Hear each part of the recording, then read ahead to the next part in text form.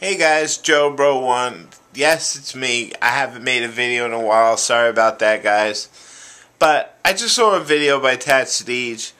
Now, tattsdeej was doing a video response to somebody called, I believe, Kablaam. But if that's not the correct spelling, I will put the link down below. Um, everyone's offends everyone else. People are, I mean, in other words, people are offended by everything that other people do. Now, it is so true. Tatch, I'm glad you covered this subject because could be on the train, could be offended by somebody doing something wrong, and that could bother you. Like somebody, like, you know, people in New York are so rude. They'll bang into you without saying excuse me. That could offend you. Um, people could criticize somebody's appearance. That may offend you.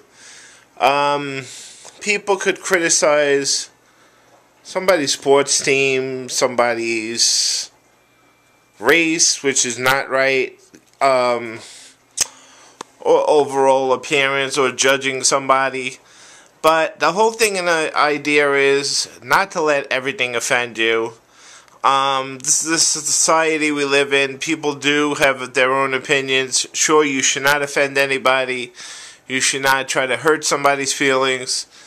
You should always be positive.